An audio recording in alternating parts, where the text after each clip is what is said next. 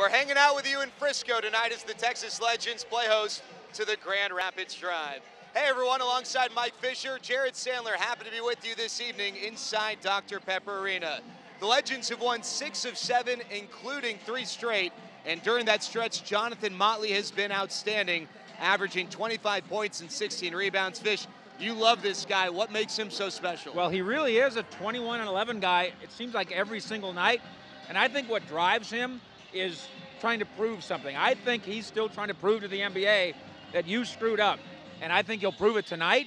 And then pretty soon, whether it's because this team's season ends or because the Mavericks' fate is set in stone, Motley will be playing with the varsity and getting minutes. Well, there are only two guys in the league with more double doubles than Jonathan Motley. One of them will be battling with him on the blocks tonight. It's drive center Landry Nnoko. Nnoko's coming off his 16th double double. He's in his second year out of Clemson. Fish, what else can you tell us about him? Well, Nnoko will try to beat you in the post, and then he'll try to beat you down the floor. So you need to make sure if you're the Legends that Nnoko doesn't go loco. That's Spanish.